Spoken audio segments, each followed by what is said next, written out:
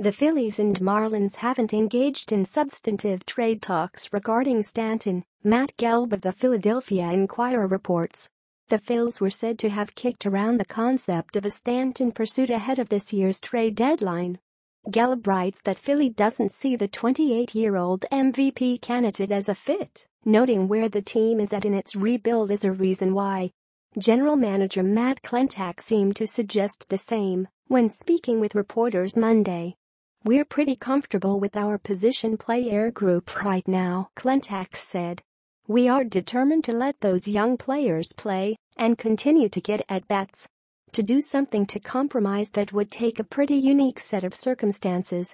Stanton is entering the fourth season of a 13-year, $325 million contract that is set to start paying him at least $25 million annually starting in 2018.